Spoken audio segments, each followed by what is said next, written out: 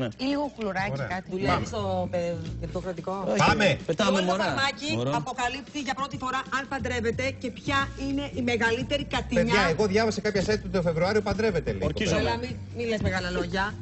Και ποια είναι η μεγαλύτερη κατηνιά που έχει κάνει για έναν άνδρα. Άμα σπάς στο κουμπί, τι θα γίνει; Θα δούμε αμέσως. Πάντως δεν θα βγει καμία Θα πέσει ο κάτω με οτίτιδα.